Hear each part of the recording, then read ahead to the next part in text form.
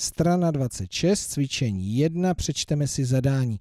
Podle nákresu vypište požadované body. Vidím nákres a jaké body jsou požadované. Úloha A. Body, které náleží čtverci KLMN.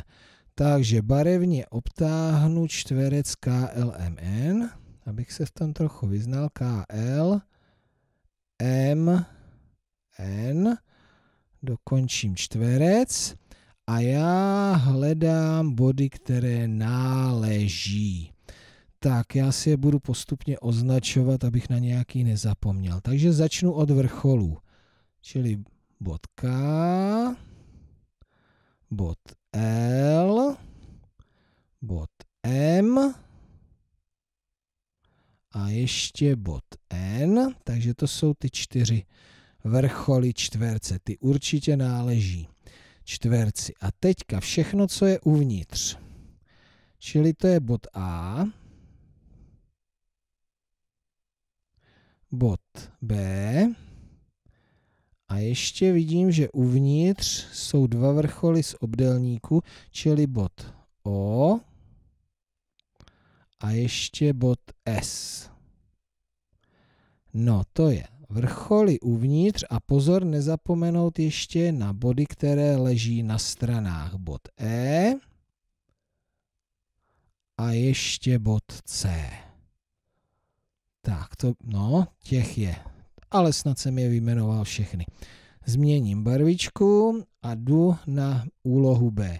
Body, které náleží obdelníků OPRS. Takže jako jsem si označil čtverec, tak si označím ještě obdelník, tentokrát modře a budu postupovat stejným způsobem. Takže začnu od těch vrcholů.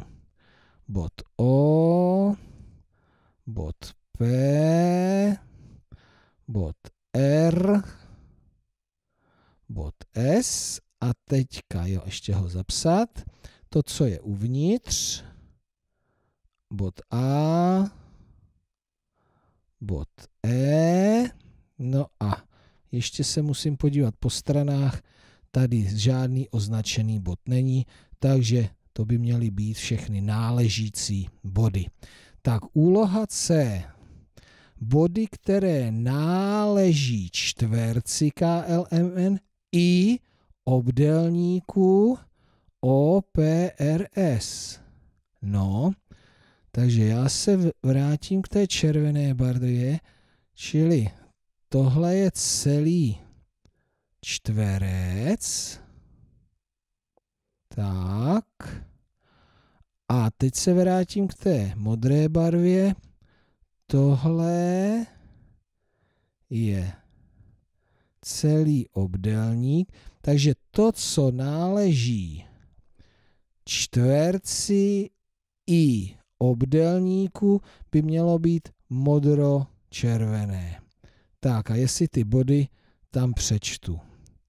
Vidím tady bod S, tady je takový něco jako čtverec, já nevím, jestli je to čtverec. Bod O, hmm. tady uvnitř je bod A a na straně je bod E. Tak. No, snad jsem to udělal. To jsem zvědavý na řešení. Tak, změním si ještě barvičku, abych se pustil do úlohy D. Body, které nenáleží ani obdelníku, ani čtverci. Takže čtverec a obdelník dohromady No a to mimo je pouze bod D. Tak, to jsem zvědav, jestli to mám dobře. Podívám se tedy na řešení. Tak, podívám se na řešení. Už ho mám. Takže tady vemu to odzadu. Bod D. To mám, to mám dobře. O, S, A, E. To mám dobře taky. Tady jich je 6. A, E, O, PRS, to mám taky dobře a tady jich je 1, 2, 3, 4, 5, 6, 7, 8, 9, 10.